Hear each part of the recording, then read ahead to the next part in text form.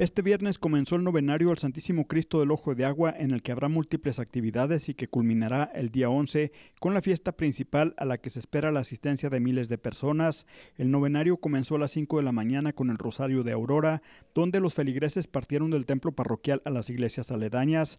Todos los días del novenario habrá misas dedicadas a distintos grupos de feligreses, peregrinaciones y un ambiente festivo en las cercanías de la parroquia.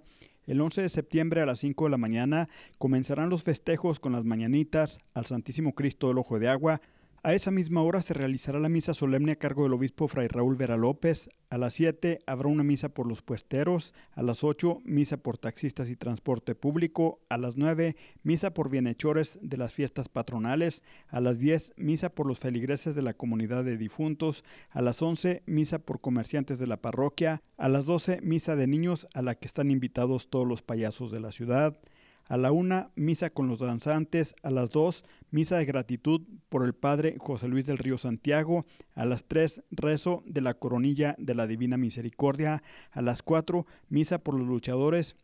Y a las cinco, recepción festiva de la peregrinación. A las 9 misa del jubileo por los 40 años de la parroquia al Santísimo Cristo del Ojo de Agua.